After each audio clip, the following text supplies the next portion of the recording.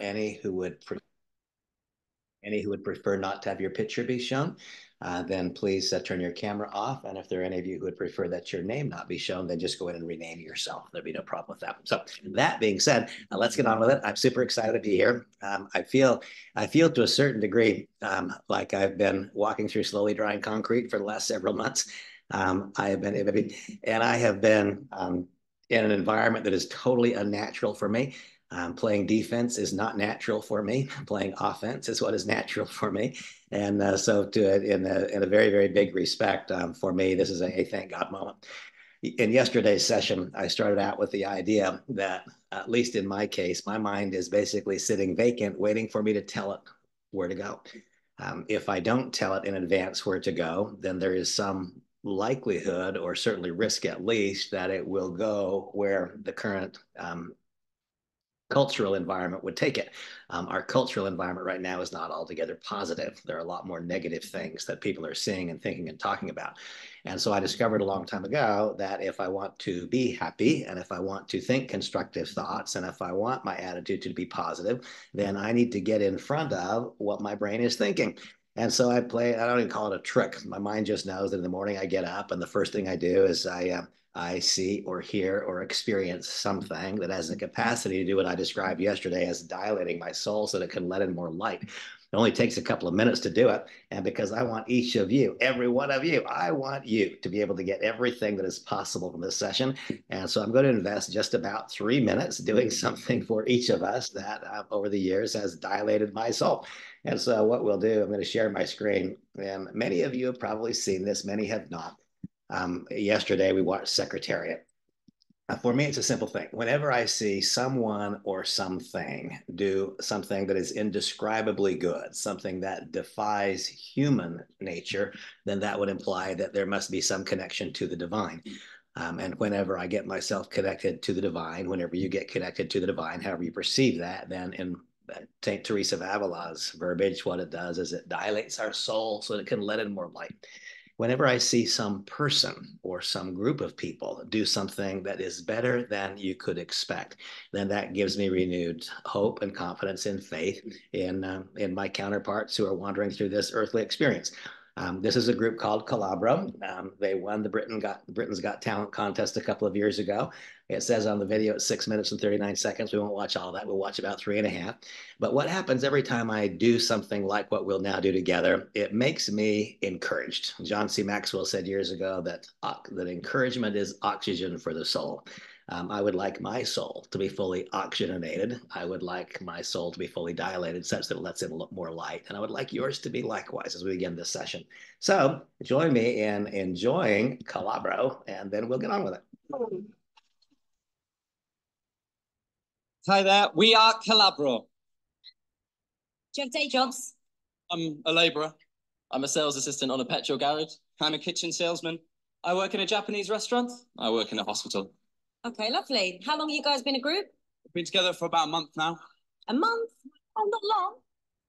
What makes you think after a month that you're good enough to win Britain's Got Talent? Natural chemistry, I think. Okay, lovely. Well, whenever you're ready.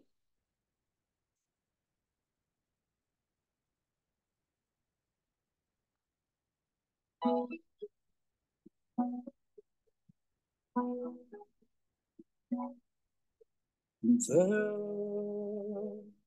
out in the darkness, a fugitive running, fallen from God. Didn't expect it. Fallen from grace. God be my witness. I never shall yield till we come face to face. Till we come face to face. He knows his way in the dark. Mine is the way of the Lord. Those who follow the path of the righteous shall have their reward. And if they fall at Lucifer's hand, the flame, the soul, stars in your multitude scarce to be counted, filling the darkness with order and light. You are the sentinels, silent and sure, keeping watch in the night, keeping watch in the night. You know your place in the sky.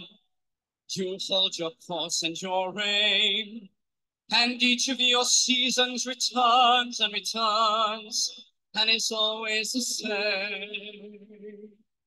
And if you fall as Lucifer you fall in flame. And so it must be, or so it is written on the door. Those who falter and love to follow must bear the bride.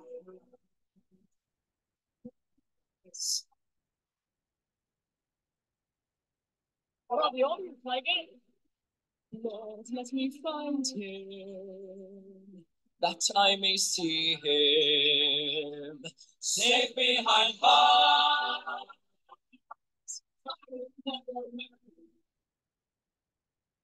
What?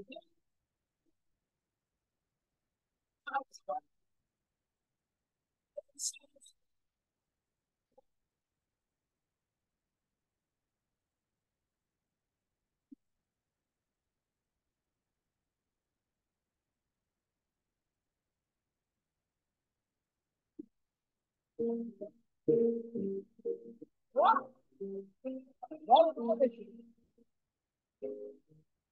Okay, now, folks, uh, let me ask you all a simple question.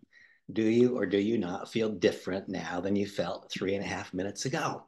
I do. I felt great three and a half minutes ago. I feel better now than I felt three and a half minutes ago. Anat, you're my project. My project is to get Anat back her bubbles. so until such time as Anat's got her bubbles back, you guys are all going to get subjected to some kind of soul dilating procedure in the beginning of every single Zoom. And so what I have found is that literally and truly and no kidding, my mind is waiting in neutral for me to tell it whether to be happy or unhappy, whether to be constructive or discouraged, whether to have bubbles or not. I think it's a choice. And so I make a choice every day to do that which is required to feel as good as I can possibly feel, irrespective of, the, of what the external influences are. Now, today, uh, we have a very, very special session. Today, um, my friend and counterpart, Jim Moyles, Jim and I have been friends and business partners for many, many years. He's one of the most successful people that I know in life um, and in business, and one of the most gifted network marketing leaders that I know um, takes a very, very different approach than many. There are many people who almost demand the spotlight, they demand the stage, they demand the attention. Uh, Jim is the opposite. Jim is the uh, Jim is the godfather who's standing behind the screen. Uh, and when I say the puppeteer, I don't mean in a negative way because that can be viewed negatively, but now he is the person who is charting the course, guiding the boat, and very, very uh, freely and and without any thought or hesitation or pause, transferring the spotlight to somebody else. A remarkable guy. Jim's going to share some time with us. And um, I'm also thrilled to note that tonight, Eric Allen, who is the chairman of the company, one of the co-founders, is going to be with us. I described the fact that on this session, what I wanted to talk about is strategically what can and should we be doing right now in advance of opening. Now, there's this enormous pent up demand. There's this shocking amount of enthusiasm. What exactly should we be doing right now? And yet we don't have registration links. Um, and so the question is, what can and should we do? Um, let me reflect upon this simple thought. The business that I am in is in the business of growing people. And so, is there anything about the current environment, given that we can't enroll this second, does that really change my basic business? No, my basic business is in realizing that I want to identify, I want to find people of goodwill and intent who want more and who are willing to do more. Now, many of you on this session I know, there are some I don't know but I know that many of you are, in fact, people of goodwill and intent who want more and who are willing to do more. I thought the first thing that would be constructive would be to fill in some blanks. I've had more than a few conversations over the last couple of days with people saying, but Randy, and by the way, the whole, for me at least, the whole conversation of what was, it will fade into the background very, very quickly. I'm now responding to questions. Sometime over the course of the next week or 10 days, you will find that Finmore, uh, Transact Card, those fade into the recesses of my memory. And if I reference them, I'll be referencing them in the same light that I reference Nu Skin, a place where I spent some time in my career 30 years ago. Uh, the same place where I reference Rexall Showcase International. So I am about halfway over the bridge where those uh, that commentary no longer will even become a part of the discussion. But for right now, uh, there, re there remains a need to cross a few bridges. And so I've had people query me and say, well, Randy, um, you got involved in Transact Card. I listened to your messages, and you told me that the reason you got involved was because you had a, a care and a compassion and desire to help those who are laboring under financial pressure. And so you were going to provide a mechanism that could help them cause their money to go further, um, and that you could get that you yourself could profit as a result of helping other people experience life with less financial abundance. And the question was raised: so how exactly does a curated premium travel experience fit into that? Uh, in one, so a, a, week ago, I'm talking with people about how I can save them money and help them have a little less financial pressure. And now, a week later, I'm talking about a curated premium travel service. Well, how do those two line up? Remember that my idea in the beginning, and all of our ideas, were that we could get paid not because we caused someone else to spend or to buy, but we could get paid because we helped someone else do what they wanted to do and do it with a little less money. That was the whole bargain. That was the thing we planned for. And so let me ask you all a question. Is there really a conflict or is there not? Um, are people going to travel today? Are people going to travel today? Uh, drive up and down the highway and tell me if there are hotels out there. Are those hotels being booked every day?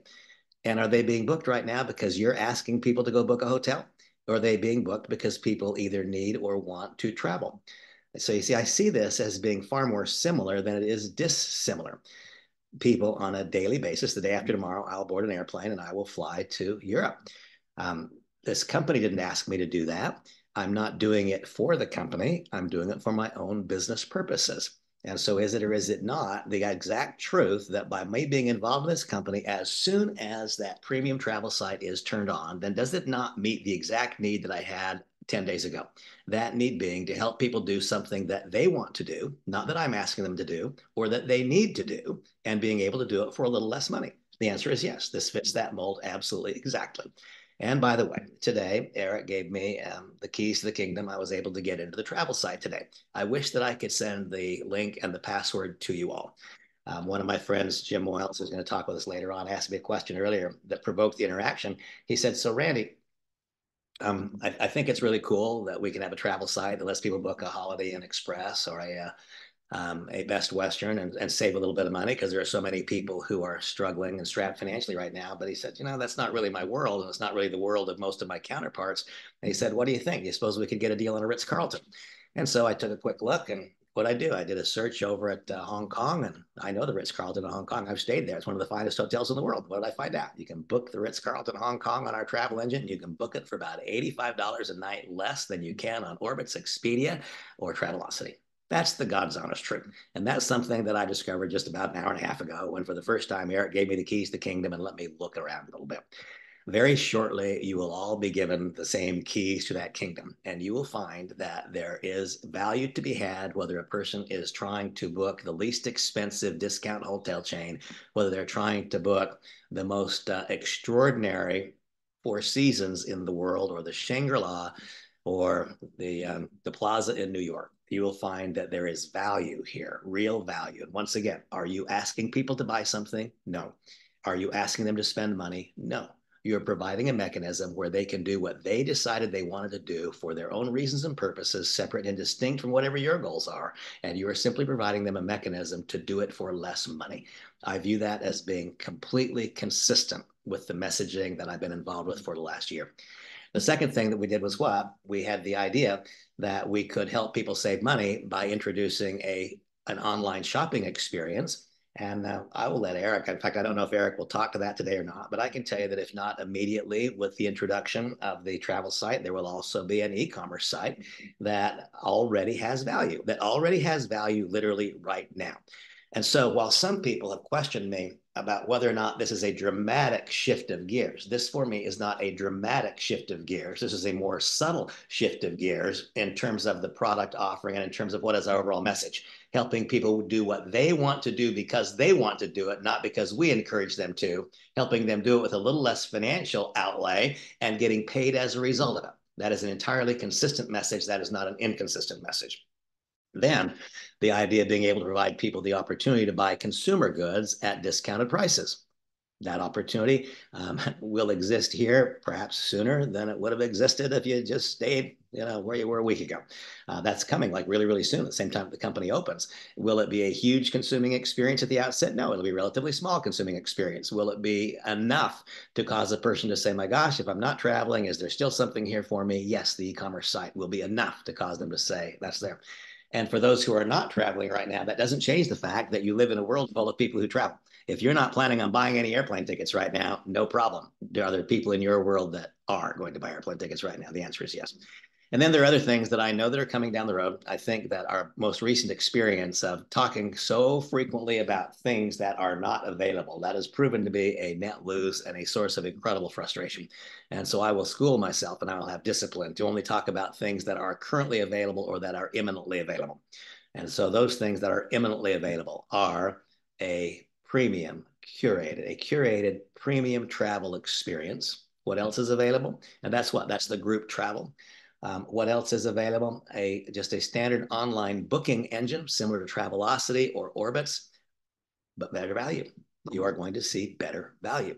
Now, am I telling you that you're going to go and buy a, uh, a Holiday Inn Express and save a lot of money on that? No, that defies logic, doesn't it? If you're working in deep discounts, then what you're going to get is a small dip discount on our site off of that deep discount. If you're working more premium travel experiences, then you're going to see great big savings. Okay. Next thing that will happen is the e-commerce site. Those things totally consistent for me the question that that or the uh, issue that I wanted to cover tonight is what exactly is appropriate today, given that the company is not yet open.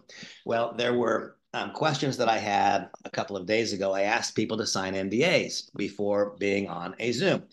I did that for two reasons. The first reason that I did it is because that for me made it feel more special. If I'm saying, Jason, I'm going to deliver information to you that you have a right to have that other people have not earned that right to have. Um, having people sign an NDA was one of the ways of expressing my own gratitude, trust, and respect for those people I sent it to. The second thing was I am um, I don't have anything bad to say about any other person or company. I did state on that last message that, and I've also I want to address it one more time. I've had um, a lot of people say, Randy, among all of the visible noted leaders in the company, you are the one who continued to be flying the flag, holding the standard, saying this is going to be fine. That's what you're telling me one day. And the next day you said something different. What's up? Okay. You have the right to know what's up. The reason that I no longer am able to encourage and support people to stay where I was is because I discovered that they are have changed or or are not honoring um, pledges to make refunds. And the fact is that for me crossed a red line. Anybody who wants a refund, if what they bargained for was not provided, they weren't provided a card, they weren't provided a shopping experience. I believe 100% of people should be given a refund. I think they should get it right now. I don't think there should be any questions about it. Uh, it was when I found out the company was not doing that, that crossed a red line for me that I'm not willing to be a part of. Um, and so um, that was it. Why was one day I willing to continue to support an idea and the next day I was not willing to support the idea because that crossed a red line for me. Now I just said that in open space. And so I'm pretty sure since I didn't ask you all to sign an NDA that I'm going to get some grief from that for somebody, but it doesn't change. The truth is the truth. That's not disparagement. That is a simple truth. That for me crossed a red line. And so that door closed and a new door needed to open as you all know, at that point in time, I was contemplating starting my own company. I decided it made more sense to um, to en engage in something that I believe has the meat on the bones to make possible a different kind of success, and it made it far more. It made it far more. I believed a much more much better idea to have a consistent message with others who had been part of the leadership group as opposed to a conflicting message. So here we are. Now the question is what exactly would be appropriate right now. I'm going to share with you guys some some truth that is not frequently shared in network marketing. First thing I do is find me a whiteboard. This is a bit of truth. Not everybody likes this truth, by the way. And I shouldn't even say a bit of truth as it relates to network marketing. This is just a bit of truth, period, that as it relates to business. So give me my whiteboard open, open up here. Mhm. I'm sorry, take this one second to get loaded up. Okay. So for the last um, long time, there has been a lot of commentary about network marketing. And a lot of that commentary has not been all together constructive commentary. Uh, there has been a lot of um, criticism over the shape of the business. Oh my gosh, this thing's not letting me get a pen. I'm sorry. Okay, there we go. There I got my pen. Okay, and so there's been a lot of criticism about the actual shape of the business model. Criticism that this um, Oh my gosh, I may not be able to use my whiteboard, folks. I'm sorry, it's not working. Okay, we're gonna kill the whiteboard. Sorry about that. Close whiteboard. Um, close. Okay, so we'll just do it verbally instead. A lot of criticism about this shape, this pyramid shape. A lot of questions and criticism for lots of people for a long time. Um, it's a beautiful shape and it's a near perfect shape. If you construct a structure in that shape, you literally can't knock it down. They've been standing in Egypt for the last 7,000 years. Uh, the exact reality is that most people in network marketing and most people in the company where we have been for the last period of time have not been building this shape. Most have been turning that upside down, building a V shape. How could that be? How would you build a V shape? Well, the pyramid shape is constructed when one builds a leadership hierarchy. That's what happens when one builds a leadership hierarchy. Um, many years ago, Cicero said that the skill to do comes from the doing. And so now I'm looking at Tony Bloom, happens to be the face that's next to mine on the screen. And so, Tony, let me ask you this question What skill are you developing at this moment as you listen to me talk? You don't develop skill by listening to somebody else, do you? You can gather knowledge by listening to somebody else, but you cannot create skill. The skill to do comes from the doing. And so when we have been, and, and again, please, please, please, uh, I would be so disappointed if anybody said I'm critical of anything, of anyone. I'm not. I'm illustrating points that I think are important. Um, when the vast majority of you have been, as your primary business building process, inviting people to go to a Zoom, maybe five or six Zooms in a day, now you're your entire membership is inviting people to go and listen to who? To the same people over and over and over again, bringing more and more and more people to hear a similar, a, the same very, very small group of people present the business over and over and over. So, Tony, if you have a thousand people go to a Zoom and listen to me present the business, at what point will those thousand people become skilled in presenting the business? Never. But what if instead of simply inviting them to listen to a leader talk, what if we engage them in a process where they are taking ownership in the business, where they are presenting the business? I mean, Tony, if I'm helping you present the business, now you are developing a skill. And if you develop a skill that becomes well developed and founded, then someday, one day, you can do it on your own and not need to rely upon me. You see, if I'm teaching you to do what I do, then I'm building this. If I'm simply inviting you to benefit from my knowledge and skill, then I'm building this. And folks, know and understand this. Whenever you build a V-shaped structure, it will fall over. It absolutely is going to fall over. There is no V-shaped structure that will stay in place. This structure will stand the test of time. It'll stand forever. This structure will not stand very long at all. And so now the question that I pose to every one of you, and I really want my whiteboard to work. This is living proof that not everything that I want happens. I really want my whiteboard to work. Let's see if it will. Try one more time with my whiteboard. It may be that if I go to a different room where I've got better internet, it'll work. Come on, come on. You're being very patient with me. So I, you know, I'm not going to go to the other room where I've got better internet, just in case it makes my whiteboard work. Be patient with me. I apologize for this.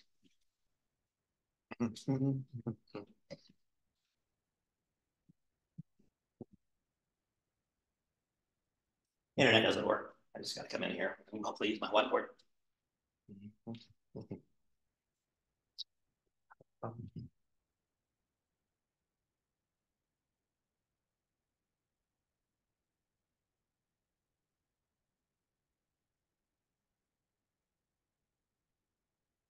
Okay, now I'm in a different room, which may or may not have better internet. We'll see. I think it does.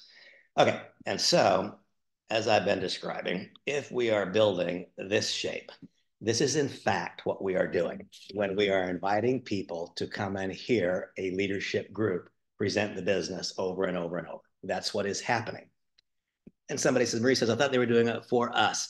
Um, Maria, the simple reality is that they are doing it for you. That is true. But they are doing it for you um, with good intentions, but poor outcome. If instead I help you present the business yourself, then the day comes when you no longer need me to help you present it. If I'm presenting it for you, then the day never comes when you can successfully present it. That is the truth. And so my objective is to make it such that a leadership structure is being developed where everybody learns how to present the business. That is why I have taught for a long time the ladder of escalation. This will be information that most of you are not familiar with. There is a pattern of activities that I've lived with for the last now 30 years. The pattern of activities is what? The first rung on the ladder of escalation is when I utilize a properly constructed script to let a tool talk. And so uh, I don't I don't know Tony, but imagining that I did know Tony, then I would have a properly constructed script saying something like this. Um, the way that I work is at step number six, I create relationships. I create relationships primarily by listening. And so if I'm listening to Tony over a period of time, then I learn what's important in Tony's life. When I learn what's important in Tony's life, that gives me the opportunity to use a properly constructed script. I then contact Tony and I say, Tony, remember I saw you at the beach three weeks ago, and I remember what you told me about the birth of your new grandchild. By the way, that's not Tony's experience. I'm making this up. Told me about the birth of your new grandchild. And Tony, I remember the desire that I had to fund my grandchildren's education. Um, I remember the look in your eye I remember how important it was to you. If you'd like, Tony, I can send you a four minute video link that will illustrate to you the way that I've been able to fund my children and grandchildren's education. Would you like to receive the link? Now, that is a properly constructed script. It was answering a, it was responding to an issue that Tony raised. It wasn't me rushing to Tony and saying, Tony, do this. No, Tony, you said, and I've not been able to get you off my mind. I remember the look in your eye. That was important. I may have a mechanism to help you accomplish that.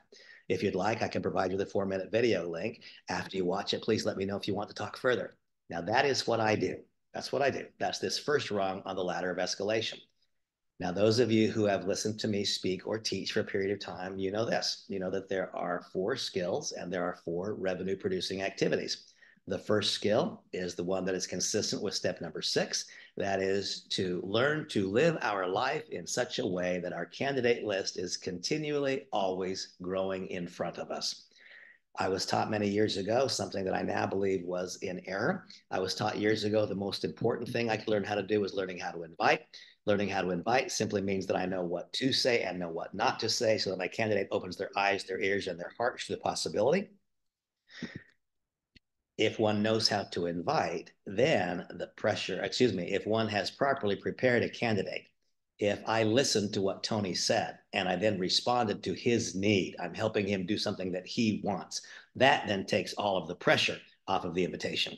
It also takes the pressure off of the presentation.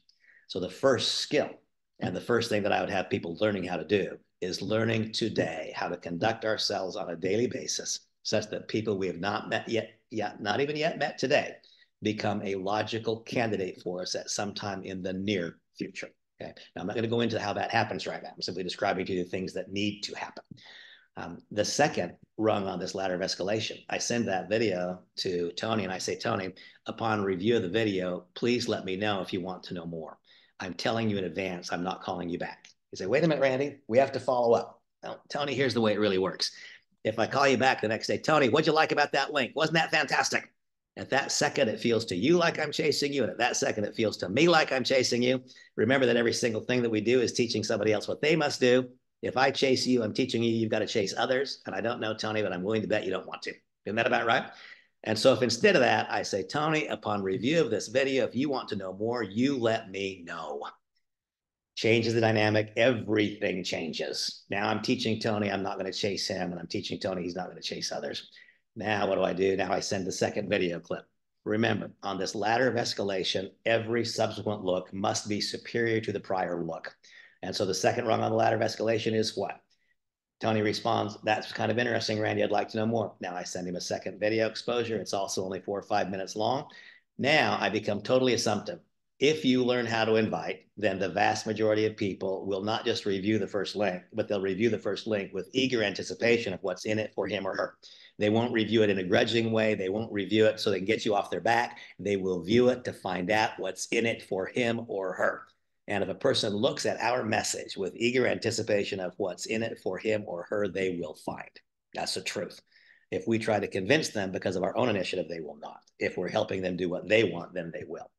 Now, if a person asks for the second link, in my case, because I've gone a long ways down the road towards learning how to properly prepare a candidate, because I've struggled, I've tried for 30 years to master the art of the invitation, the vast majority of people that I send the second link to, I'm talking about more than 90%, they ask for the second link, they're going to join me. Will it be this week or this month? Will it be next week or next month? I don't know, but they're going to join me. The next rung on the ladder of escalation is the basic leadership development platform. And by the way, not everybody likes my message. Everybody likes my results. A lot of people don't like my message. Uh, the next the next activity is to do what? I watched the first link. It made sense. I want to know more. I watched the second link. It made sense. I want to know more. Now I invite you to a home business review. And when I invite you to home business review, that is when this begins to occur. Because now, instead of your candidate hearing this same leadership group present the business, now your candidate's hearing you present the business. Uh, Tom, Tony, again, I'm picking on you because I'm looking at your face. Um, true or not true? I don't know what your background is in the industry, but what do you think? If I simply invite you to be on a Zoom, then if you come by yourself, that's a-okay, isn't it? No problem. And if you don't show up, who will even notice? What if instead of that, I do a property member orientation and I say, Tony, I'm going to be in your house sometime in the next two weeks. And again, two weeks after that, we're going to launch your business together. And uh, the first presentation I'm going to do on your behalf, and I'm going to help you cross the bridge and get comfortable. The second presentation we'll share. The third will be mostly you and a little bit of me. The fourth one, I'll be there just to uh, be as a fail-safe in case you need help.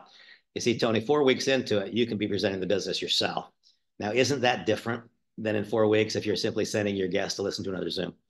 And so please don't misunderstand. Now there will be those who say, wait a minute, Randy's criticizing the entire process. No, I'm not. What I'm doing is illustrating the way that I use the process. The next rung on the ladder of escalation is what? This is the belief building. The person watches video one, yep, makes sense. They watch video two, sure, I want to know more. They come to a home business review. Who did they meet? They met Tony. Tony was brand new. Tony was making more money, making no money, just barely getting started. He might have said, reading a paper, hey, I'm glad you're here. I've never talked to a group before. This is kind of scary to me. I'm not making any money yet. Thanks for being here, encouraging me, and supporting me. Now, those people they know they need to see a bigger picture. And so now the next thing I do is I invite them to that Zoom on Monday or Tuesday or Wednesday or the eight or 10 of them that are going on that given day. Now you see this Zoom is a concluding feature instead of a beginning feature. Just ask yourself a question. If I take a ladder and lean it against a wall and I try to put my foot on the fifth rung first, do you suppose that if I put my foot on the fifth rung first, there's a greater likelihood that I fall down than there would be if I put my foot on the first rung first? The answer is clearly, obviously, and absolutely yes. And so, what I believe in, all of you, is a proven, predictable pattern of activities. What comes behind that, what becomes behind that next, is the regional event. And what comes behind that, excuse me, the open business presentation in a hotel. And what becomes behind that is the national event or the regional event. And so you see, there is a process. Enrolling a new person who becomes a leader in our business is not an event, it is a process. Now, we find ourselves at this remarkable point in time where, because the dynamics of a brand new business and because the dynamics of the compensation plan of this brand new business, speed is of ultimate importance, absolute ultimate importance. And so the common critique of my process is, well, Randy, this process slows me down. The truth is, this process does slow you down for the first six or eight weeks. For the next 50 years, it speeds you up because instead of having a whole bunch of people who are dependent upon you, you have a whole bunch of people who are becoming self dependent. Remember, every single thing we do will do one of two things. It will either create an attitude of independence and a reality of independence, or it will create an attitude and reality of dependence if you build a web of people who are dependent upon you, I promise you, you'll never make the amount of money you're dreaming of. And if you do, the amount of money won't be worth it because you won't have a life. The single greatest measure of success in our business is if when you're not doing it, nobody even knows. How will that happen? That will only happen if instead of you doing it for other people, you engage people in a process which results in them having the knowledge, the skill, and the character attributes required to get the key in the lock. So specifically and exactly, what do I think is appropriate to be doing right now? It is to dive into as deeply as you can. Step number six. What is step six? It is learning how to live our lives in such a way that our candidate list is growing in front of us every one of us if you if i could snap my fingers and cause you to know and understand what i know and understand right now you would say i must have no fewer than 100 valid candidates on my candidate list by the time they turn these enrollment links on you don't have 100 people on your candidate list between now and then that was a fail i'm telling you uh, every once in a while there's a chance to do six years worth of work in six weeks it doesn't happen often when it comes you need to act upon you need to act upon it aggression every single person should have no fewer than 100 people on your candidate list before the registration links go live. Second, the idea of knowing how to grow a candidate list. Um, I apologize that I don't have video resources available for you right now. Uh, they were all created by the other company. The company filmed them, not me. They pulled them all down.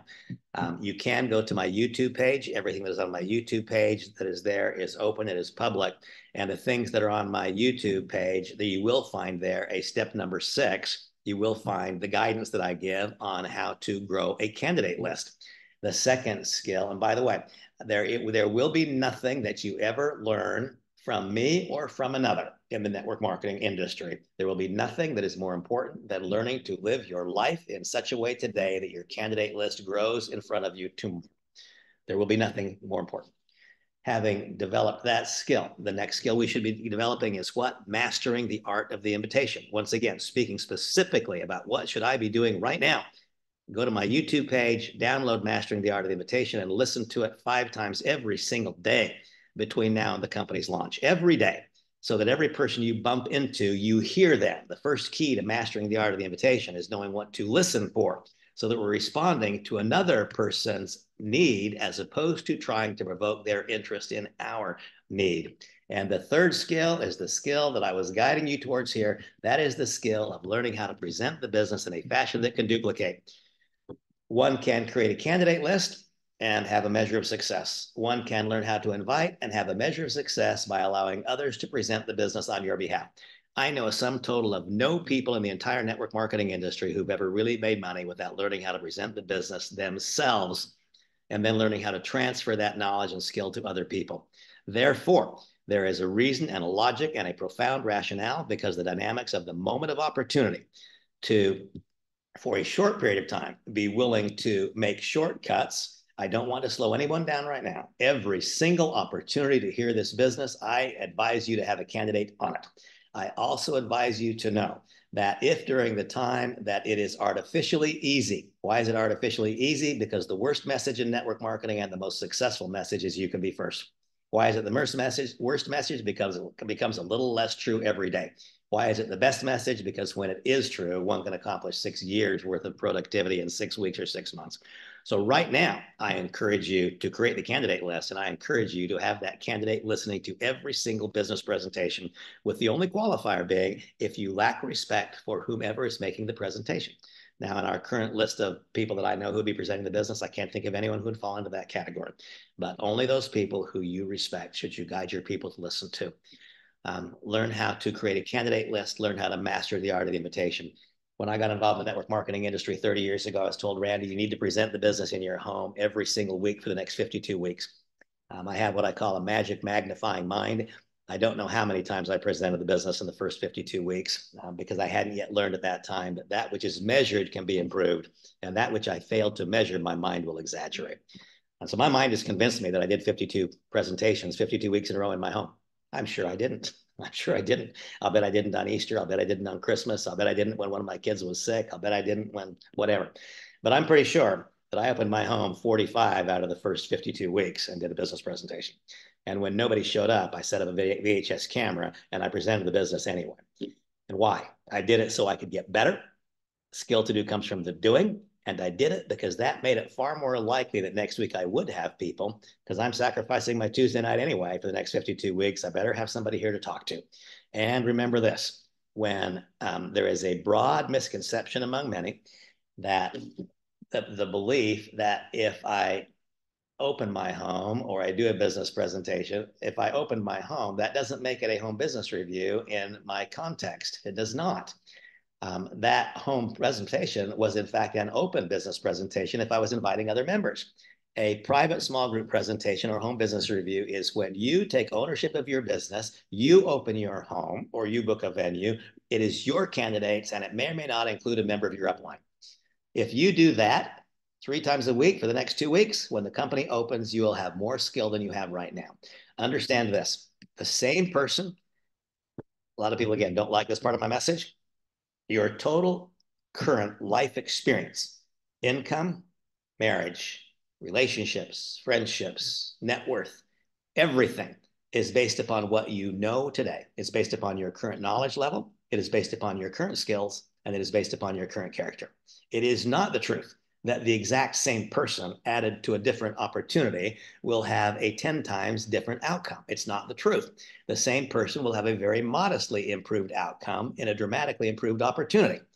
If you're stepping into a dramatically improved opportunity, the way for you to get the key in that lock is for you to become a dramatically improved leader. Okay, I took way much, too much time talking. Eric, I saw you logged on a second ago. I appreciate you very much for that. Um, I'm going to call upon my friend Jim Moyles. And Jim, I'm just turning it over to you to describe. Now, folks, when you listen to Jim, understand you're talking, you're listening to a man who has been the master distributor of various organizations. Um, he is among the very tiny handful of people whose income experiences mirror mine in the network marketing industry for the last 30 years. Um, Jim has earned millions and millions and millions of dollars, and he is among those people who has not only earned money when he happened to be involved in the hottest deal of the day. Jim has earned money and a lot of it, no matter what the project was, because of the, of the quality of strength of the leadership organizations he's created. And so, Jim, I'm going to turn it over to you. And everybody, um, do not let a single person on this session depart before they get a chance to listen to both Jim and to our chairman, Eric Allen. And Jim, I am going to ask you to unmute and turn it over to uh, my friend and one of the people that I have the greatest admiration for on the whole planet, uh, Jim Moyles. Jim, go ahead. Randy, thank you. It's my pleasure to be here, and I'll do my best not to let you down. Uh, as all, all, of you that have achieved success realize, uh, it doesn't come automatically or, or, magically. It typically takes a lot of work. And it takes the, uh, the, the desire to to achieve more and to, and in this in this venue, actually to help others. And um, the reason I know this personally is that uh, a number of years ago, having achieved success beyond my expectations in my merger and acquisition business, I kind of kicked back and bought a penthouse on, on the beach here in uh, in Clearwater. Was enjoying life, and I got bored. And a friend of mine invited me to join him in a, in a project that ended up being Nu Skin. And um, I was a dismal failure at that. I couldn't get my checks over three thousand dollars a month. And one of the challenges that Jim and I had was that he was sponsored by somebody from Atlanta. She was sponsored by somebody from Charlotte. And we had to basically reinvent the wheel. And we didn't do we didn't do very well at that. And then, as fate would have it, I heard that Randy Schroeder, who's uh, had my favorite audio tapes in that venue, uh, would be moving to another company. And I was able to re- get, through, get through to him. And I was able to team up with him in a company called Rexall Showcase. And as all of you have heard by now, Randy became the number one distributor in that company. And for those of you that uh, know him, that should surprise any of you. Uh, for me, it was a slow. It was a little more slow. I had to. Uh, I, I, had to change a lot of things that I had done earlier in my other my other endeavors. And however, uh, once and I, I, also had about this time the, the good fortune to stumble upon a book. It's called How to Build a Large, Successful Multi-Level Marketing Company and what it taught me was that what I was, I had to modify some of the things I was doing. And what I discovered after reading that book, it's not about sponsoring the world, but it's teaming up with people and driving that organization deep so that other people on your team are making healthy checks and ultimately they can uh, they can reach and then ultimately uh, succeed and then ultimately exceed their expectations uh, your business you will discover will end up being a reflection not only you, but for those of you, that you associate with and the company you're with. I believe we have all the ingredients here, and I've never seen as a talented leadership team as we, we have here in this company to reach all of our goals. And uh, what I'd like to share with you is um, a training program I, I put together. I, am kind of the boots on the, on, on the ground kind of guy that will help you avoid trial and error. And I put together a, uh, a little training program uh, for our team. And it, it kind of starts out with, uh, which was formerly called, it's now called, it will be called the new member checklist. And I want to just touch on some of the highlights here and let you know some of the things that have helped me and, my team uh, become the dominant or, uh, team in, in, the various organizations which we, in which we've engaged. Uh, you're, you're, what, one of the things you're going to discover is when I go through this with you. Oh, honey, I don't need that on the screen. Okay. Thank you. Hey, Jen, you've turned your video off, and I've given you the ability to share your screen if you care to. Okay, uh, your, your oh, video. Very, that was why I. Very good. So, um, once you bring somebody on board, I want to share with you um, the first thing you want to do. You have to you you crit. It's so critical, is that you meet with them immediately so they can avoid trial and error. Uh, and and for the people you bring on board, it's very important that they understand as quickly as possible uh, that uh, their success is our success. This is a te- this is a business that requires teamwork, and it, there's also a cycle a cycle of duplication that I found to be paramount in building leaders, uh, as, as Randy just alluded to. Uh, so number one, uh, once you bring somebody on board, it's critical that you meet with them within 24 to 48 hours and do a, a new member orientation. Uh, and, and I put together a checklist to kind of address this. And in this checklist, um, what, one of the things you're going to want to advise the people that you bring on board is to control their enthusiasm until they've uh, done the, the new member orientation so they can avoid trial and error. Uh, this is all about, about, residual income. Let them know that if you're making not making money while you sleep, you'll work for the rest of your life, according to Warren Buffett. And then uh, when I'm uh, when I uh, I will ask them what kind of uh, yearly residual income would make this worthwhile for you or or, or anyone or, or a cause that's important to you. Uh, the uh, the goals, and, and, then I'm going to ask them what, what their what their primary goals, what they like to accomplish. And then I would suggest a candidate list. I, and I agree with Randy; it needs to be continually growing. But I found by simply requesting 15 to 20 people initially, it's less intimidating.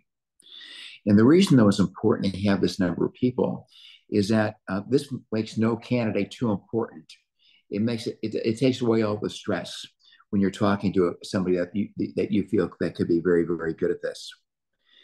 And um, it's, it's important in your candidate list, you want to make sure that these are people with you'd like to have a business relationship and a, and, and, or have a, and have a friendship or have a friendship. And uh, your, your primary, uh, qual, qual, one of the primary qualities you're looking for is a self-starter.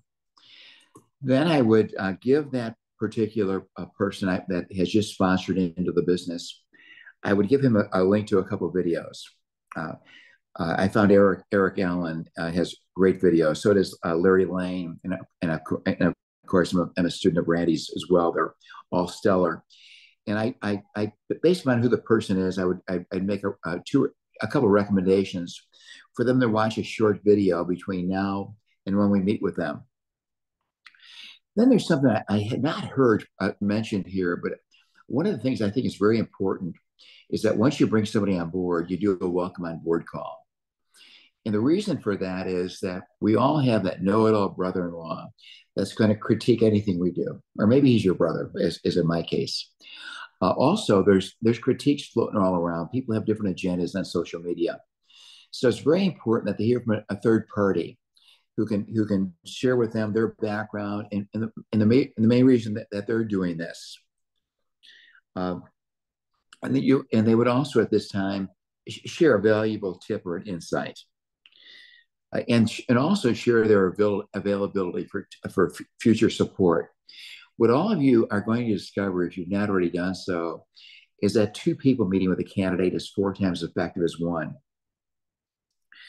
He'll also remind, uh, the, if you'll coach him on him or her on this, when, they, when you do the welcome on board call, to remind the candidate not to mention this to any new candidates or contact them before they have their orientation so they can avoid trial and error. Then uh, the sponsor will confirm the time of the orientation and suggest that they, if they've not watched those two videos, that they do that promptly.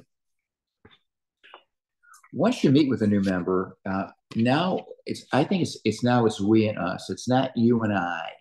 As quickly as you can psychologically, it's a team effort. So you want to talk about what we're going to do. In fact, what I'd like to do uh, during the new uh, uh, member orientation is to say, I'd like you to learn how to do this because this is what we'll be doing with the people that you bring on board, and we'll do we'll we'll, we'll do it together to help you get started.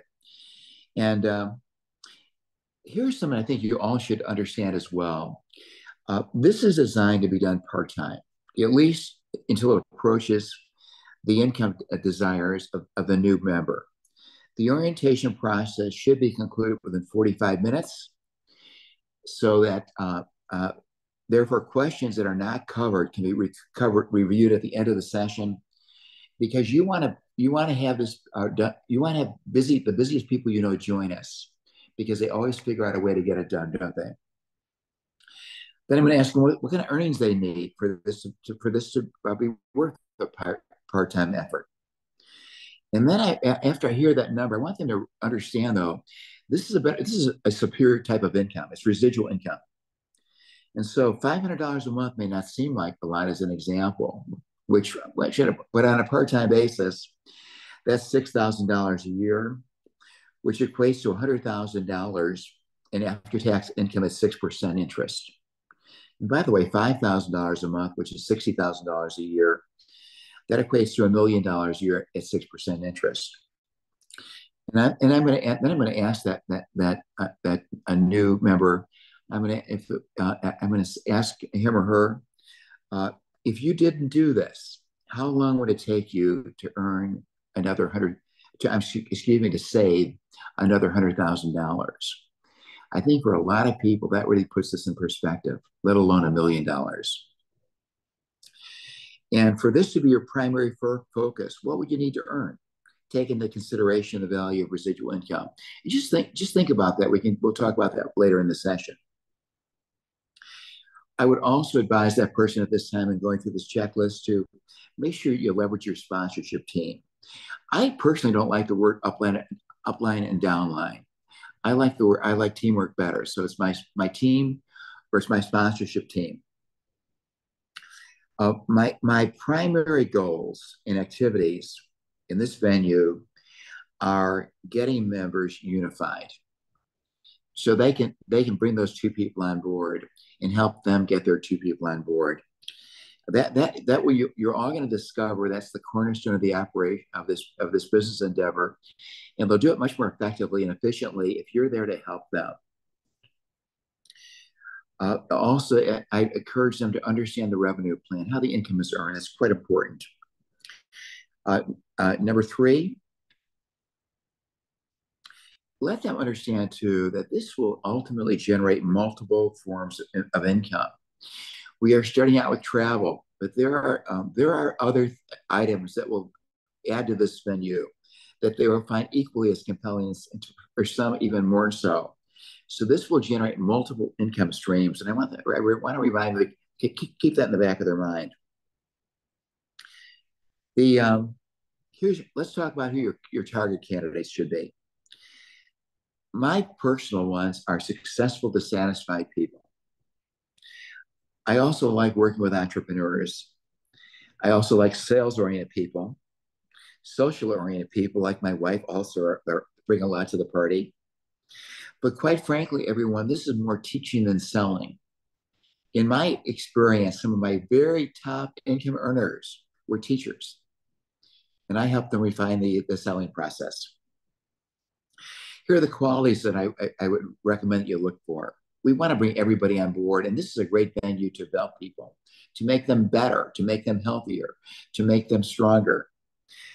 However, a couple of attributes that you're really looking for are people that are honest, they're motivated, and they're coachable. Uh, this these these cornerstones will make your life a lot easier with the people with whom you're working. And I want to remind them. I, I maybe I'm overdoing this quote, but I want to remind them. uh, Warren Buffett's uh, quote: "If you're not making money while you sleep, you'll work for the rest of your life." Do you you, you don't you don't you don't do, do you find yourself potentially in that position right now? Then I want I, would like to know that the um, then I want to give them something they can re- relate to. Um, Warren Buffett again. He, I was reading one of his quotes the other day, and he mentioned that the only thing he's aware of is outperform the uh, S, the S and P averages over the last 25 years is commercial real estate. And I I'm very active in that marketplace. In fact, uh, the income I've earned in my other endeavors has gone into commercial real estate. So now I have another source of residual income that's taken the pressure off my life and enabled me to live in the beautiful home that I have and have the creature comforts so my, my, my lovely wife and I enjoy. So I have a little comparison here between res, residual income comparing to commercial real estate and social marketing. And as I refine this, and if we had more time, I would share it with you with you, with you, with you right now. My wife advised me I have five more minutes. I'll try to I'll try to hit that number. I also want people to understand how critical timing is you know, we obviously this this will be as this will be a lifelong opportunity. In my endeavor with Rexall Showcase International, I was in that business for about 26 years. And then I had a little falling out with the president of the company, and I got a little bored. And so, and my checks weren't quite what they once were. And so I got involved in a new venture that I uh, started with my daughter. And uh, my daughter then became the top, and that was in 2010. And by following the format I'm sharing with all of you, uh, within two or three months, my daughter became quickly the, the, number one distributor in that company. And within a year, uh, over 95% of the people in that organization that were joining were under, were, were under my daughter. Uh, Randy mentioned how critically important inviting is. I could not agree with him more than that. And uh, one of my favorite questions, if I'm talking to somebody that's business oriented, is are you open to another source of income if it makes sense? Uh, try to put yourself uh, in the in the seat of the person you're, you're, you're talking to, and think what would be important to them. And also think of questions that are difficult to say no to. Now, I don't know about all of you, but I think we're in risk of a recession. And one of the questions I would ask somebody that's that's that's involved in a business that could be recession related, like everybody in real estate is, and, and, uh, and most venues are today, I would ask them a question that's hard to say no to, such as, do you think we'll ever have another recession? And then, and by the way, I'm reading this. You're going to find that most of what you do, most of what you see here, you're going to either say over the phone where you can just read it, or you can read it with, with a person with whom you're training because at this time it's a training session for that person to then become the sponsor and, to, and be sitting in the same position that you were in at this point in time. And uh, and then and then my follow up question to that recession question is, wouldn't it be wise for all of us to have another source of income? It's hard to say no to that, isn't it? And then I would either uh, introduce a video or um, a I, I like the little two minute video that we had or something along those lines. Randy, do I have a couple more minutes or should I bring it to a conclusion here? Jim, I'm gonna. I want you to finish, but I've only got Eric Allen here. He has to leave in two minutes, so I'm gonna ask you to pause for just a couple of minutes so we can bring Eric on, and then I'm gonna come back because I'd like you to finish. Is that okay? I love. I would love. I would. I don't want to miss Eric either. Thank you. It's a great idea. Beautiful. That's fabulous. So, Eric, would you please raise your hand so I can see you there? And by the way, folks, while I'm waiting to get Eric on here, what Jim is describing to you. So, what Jim is describing to you is how to put meat on the bones. Um, there is in our network marketing industry, um, there's an impression among some that there's luck involved. Folks, there's no luck if we do A, we get B, and if we do C, we get D. That's the way it is. Eric, thank you so much for being here. Um, I appreciate the opportunity. I appreciate your willingness to be here to support us.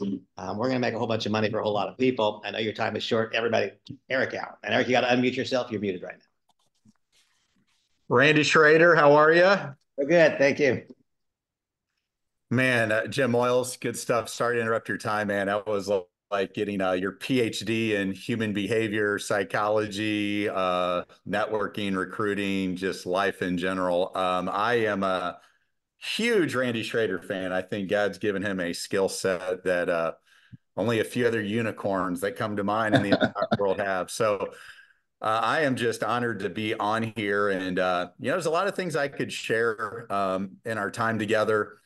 Um, but first and foremost, I am just incredibly grateful for the last year. I don't know if there's ever been a season of my life where so many amazing servant leaders, genuinely good human beings have kind of come together for uh, what they thought uh, may or may not have been a worthy ideal. But the fact is, they came into my life, and I, I just count my blessings for that. So um, I, am a serial entrepreneur. I've got over a dozen traditional companies. I've got a charity my wife and I are uh, extremely passionate about, and uh, you know, I love network marketing. I'm not afraid to say it. You know, I love love network marketing. I love relationship marketing when it's done the right way. Uh, it, would, it took a guy like me from being an inner city school teacher to a college basketball coach, uh, living below the poverty level, never seeing his family, to just uh, creating uh, an incredible life. And I'm so grateful for the journey, the highs, the lows, the ups, the downs, per personally, professionally, and you know, it's fascinating. In the last few weeks, it's it's been interesting as I've uh, you know talked with Randy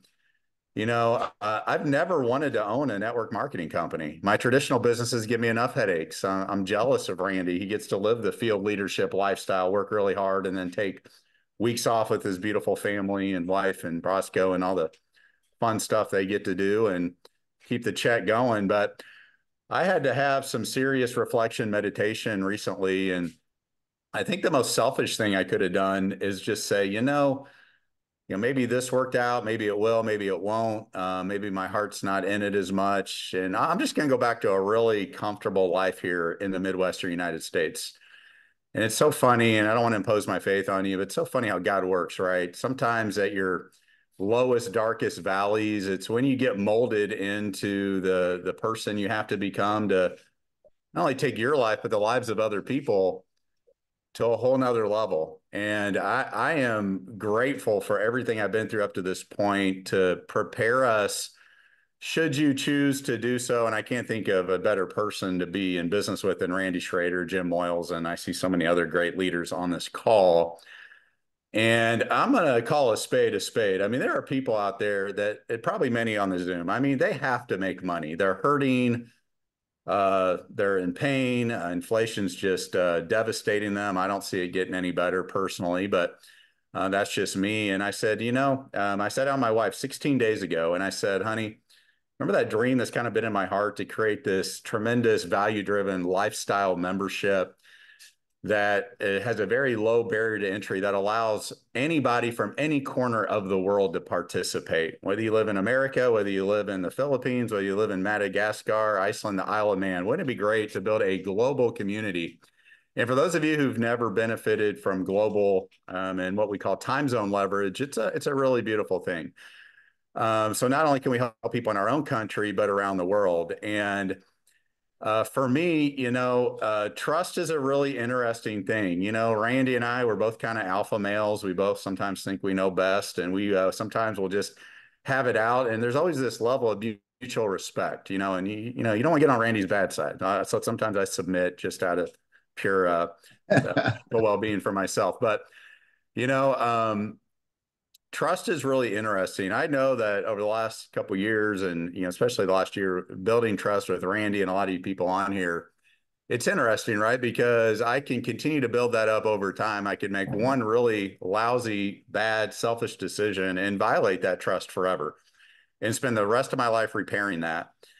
And uh, it's something I take very seriously myself. The other uh, co-owners, I know my limitations. I know what I'm good at. I know what I'm not good at and just surrounding myself with people that compliment me, make me a better version of myself. And certainly on the ownership side, build something that's rock solid, stable, world class from day one. And you know, I told Randy, like I'll tell you the the same thing. If I'm not helping Randy Schroeder and other people make more money than me as the owner, I'm not doing my job.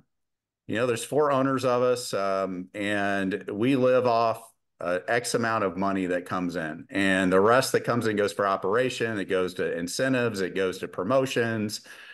It goes to the things that drive the field behavior that makes them feel special, loved, rewarded. And how cool if you could build a community and a culture where people, you know, that are able to make money quickly. Um, they love the value proposition that's there, and they feel like there's something, they're a part of something bigger than themselves. And it's pretty magical. I've, i can only think of a few uh, traditional companies, a couple of relationship driven companies that have kind of had that magic for a certain time. And I feel incredibly blessed to, you know, have a startup here that's not a typical startup. It's very well financed. Ask my wife.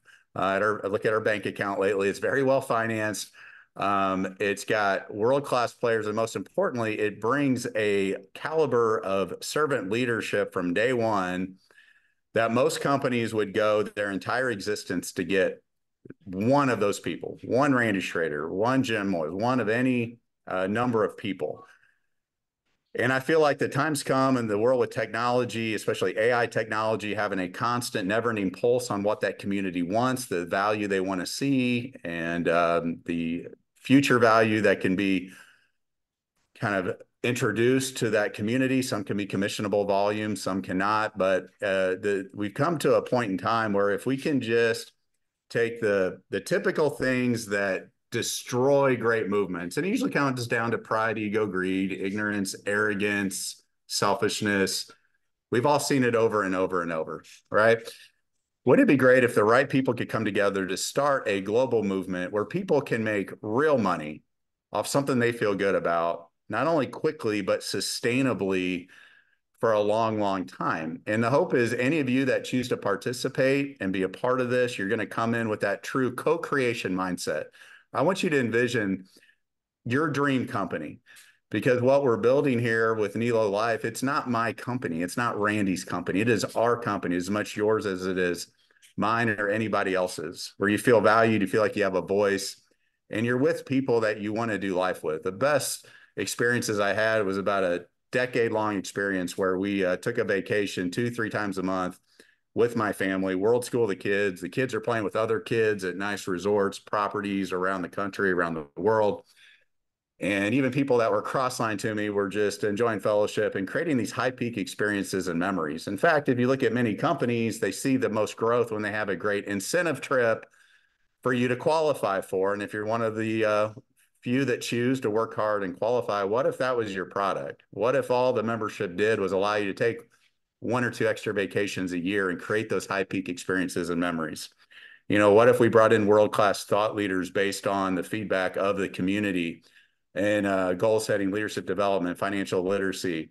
Knowing me, I'm crazy enough to pay John Bon Jovi his $200,000 stipend to come in and live stream to the whole world for 30 minutes. I mean, something really fun that you want to be a part of and that you have a chance to win big. And we have designed this with you in mind. We've got the best legal counsel, we got the best tech unicorns, we got the best marketers, the best branders. But the things I'm listening to Randy and Jim say, I mean, that that and the the fact that they give it freely, the fact that you know I've been on, uh, I've been to you know big personal development conferences for ten thousand dollars, and I I can't get from those speakers what I can get with 30 minutes with Randy or Jim Moyles.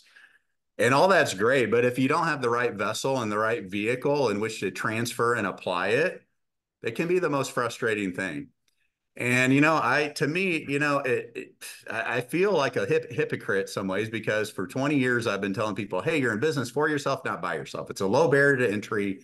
Anybody can win big here only to have those hopes and dreams literally devastate people's lives because what happens behind the corporate curtain is not in the best interest of the very people who are building that empire with you. And we're not going to go build a new empire on the ashes of another one. We're going to be forward thinking.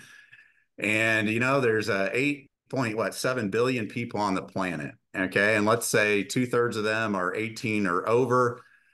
And wouldn't it be great to just share something that can unify, transform people, and just uplift humanity? And yes, I did say make money. That's part of our mission. Say we want you to make money. You deserve to make money directly based on the work and effort you put into it. So I'm looking forward to the journey ahead for those of you who are willing to step out on a little bit of faith. Um, that that trust, that transparency, that transformation, our core values is something that is near and dear to my heart it's a crown that myself, uh, the other business owners, uh, we, ver- we, we wear uh, very, very proudly and with a great deal of responsibility because I've been in your shoes. I've been in, we've all been in the shoes where, you know, you get excited, passionate, and you, you just get things ripped away from you. And we're not going to be that company.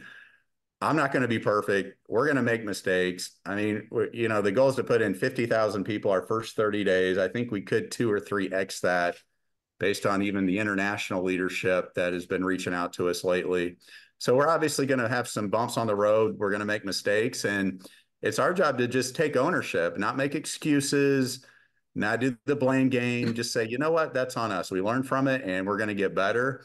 And if you're willing to be a part of that and bring your leadership, your vision into something where you feel like you matter here, then you know I would invite you to be a part of the Nelo movement. And uh, Randy Schroeder, that was probably uh, the most challenging yet rewarding call that you and I had. Because imagine approaching a guy like Randy Schroeder who could go to any company he wanted, he could start any company he wanted. He has the life that most people that get into home-based business ultimately want. And um, just to be locking arms with you, brother, and having you hold us accountable and figuring out how to keep paying you guys as much as uh, operationally possible is a, a, journey I look forward to, my friend. So appreciate you having me on. The future is very bright, and let's just go change the world together. Thank you. Eric, thank you so much. I appreciate you being here. And let me ask you guys, all of you a question before I give it back over to Jim Wells. Um, this is not just a reboot, is it? Doesn't it already feel different to you than what we've been doing? It already feels different. It's about creating deliverables. It's about making money now, doing the right thing for the right reasons, for the right purposes, and not having smoke and mirrors, but having facts and substance behind it. Uh, Jim, I'm going to turn it back over to you to uh, to uh, go on and finish your your uh, content. And Eric, again, thank you very much. I know you got to run. We appreciate you being here. God bless you. Bye bye. Eric, that was outstanding as always. Thank you. You know, Eric said something else that resonated with me. Um, in I mentioned I mentioned to you that uh, a, recent endeavor that in which we are engaged, and uh, at that point in time, I was a little frustrated with the management of the new management team at the uh, at, at Rexall Showcase, and um, and because of that, and I was and I was somewhat bored. I got involved in another company, and my daughter became the, the distributor. And uh, I mentioned to you, she became the, the number one distributor in that company, or at least 95% underneath her. What was kind of neat, though, is that underneath her was my sister. And underneath my sister was, was a, a real estate broker. And the first, they had, they had this position in the company, I think it was called Enterprise. And the first one to become Enterprise in the company was not my daughter, myself, slash myself, or Barbara, my sister, but it was Lauren. And so the, you will, and I and, and uh, I I was so satisfied with that because it showed the, the fairness of the compensation plan and the fact that we were doing a great job. So I would encourage you that you can measure your success by not only your own check, but even more so by the people in which that are on your team. All right, I'm, going to try to wrap this up within the next four minutes if I can. Um, don't spill all your candy in the lobby unless you, now I have to I have to modify this a little bit because now we're looking at a $75 decision. And it's very important that we don't overburden people with too much information because this is like having a nice a nice lunch or a nice dinner. So uh, keep it simple. Uh, uh, dramatize the teamwork. Let them know the caliber of the leadership team the caliber of the uh, the products that we're bringing to the market, the fact that this is not just the first one, but this will be a potpourri, I believe, of top-notch products to make this a truly a world-class company, or I wouldn't be engaged in this right now. The next thing I want to just touch up uh, all of you is is the timing. Uh, in my humble opinion, uh, as we are, as, as soon as we are able to get moving forward with this, I believe one day today is worth a week, a year from now. I believe a month could be worth a year. This is a critical period for you not only to bring people on board, but to make sure that you help unify those people, that you bring on board, that you help them get their first two, two key people so they don't have to do this by themselves. They must understand it's a team effort. And one of the subtleties of this is that if people do this, try to do this by themselves, then the person they're, they're talking to thinks they have to do it by themselves. Whereas if you're with them on the call, if you're if they see it's a team effort, and you're going to see if I have time to share with you my getting the yes sequence, how I incorporate that into a, bringing this to a positive decision. What I want to share with you right now is that my, the last thing I want to cover is helping people come to a positive decision. This is such a, this is so logically the smart thing to do. But what I've where I've seen people uh, undermine their ability to bring people on board is to just keep talking and talking and repeating themselves. So what I've attempted to do here, and, and it's not an attempt.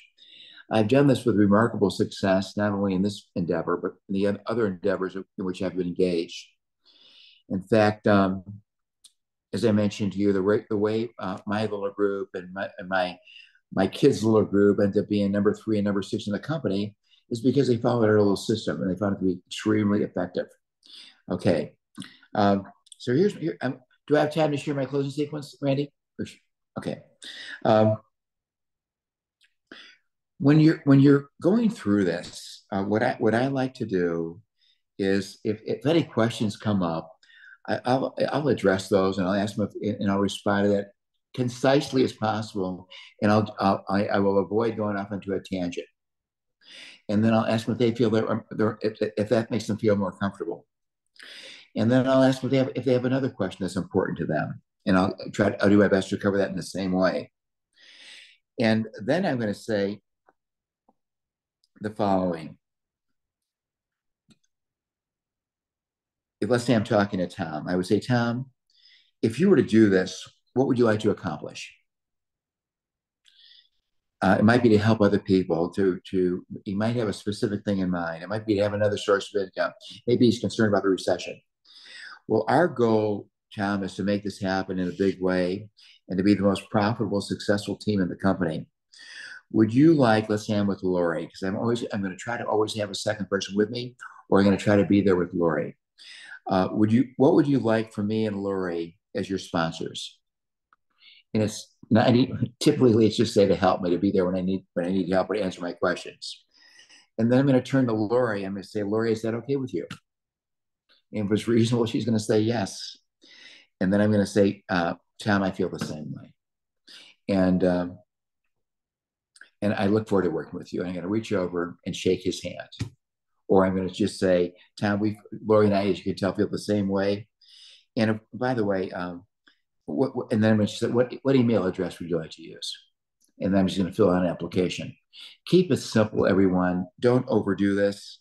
And uh, I had a couple, few other things I'm going to be adding to this over the next few days. And at the appropriate time, I'll refine my old notes and uh, help you have a program that all of you can use to reach your goals and objectives. Thanks for having me on, Randy. Yeah, I appreciate it so much. And folks, um, I hope you know you were just given a master class. And uh, people think that luck is what wins in network marketing. It is not. It literally has nothing to do with luck. There is a process. It's a process that has always worked. The process works almost irrespective of our own personal skill set. As we grow our skills and as we grow our character, such that we become able to successfully interact with more people, then that message goes further. But I want you all to know, whoever you are and whatever your past life's experiences have been, you can succeed and you can make money at this if you're willing to develop those four simple skills. Remember that everything that we accomplish today in our life is the result of what we know, knowledge, skills, what we know how to do, and character, how we do it. I remind you all that the most important part is character, how we do it. If the how we do it the way we conduct ourselves is in every way appropriate and attractive and sensitive to others. That makes the other skills less important. What I challenge you to do is this recognizing that being able to identify an area of character weakness, confront it, and resolve it, that might take a year or two. And so, as we work on that, I encourage us all to work very, very aggressively on skill development, which can be done in a day or two. Okay, everybody, Uh, this is a magic moment. It really is. I hope I hope that our message was effective and beneficial to you tonight. Eric is gone for the evening, so I will thank him again next time I see him. Jim, thank you very much. Thank you all for being here. Um, if you're not a, um, um, if you're not, well, I'm just going to skip that. Uh, I was going to say, if you're not yet enrolled, of course you're not. Nobody is. so I'll pass by that and we'll get back to it quickly. But I encourage you to stay very, very closely in tune. There will not be a 24 hour period that goes by without uh, further night light and knowledge, which we intend to uh, provide to everybody and help you all make more money more quickly. Be more happy more of the time. Everybody, God bless you. Have a wonderful night. Jim, thank you again. Talk to you all soon. Thank you, Randy. Now, it's all about the bubbles. See you guys. Bye-bye.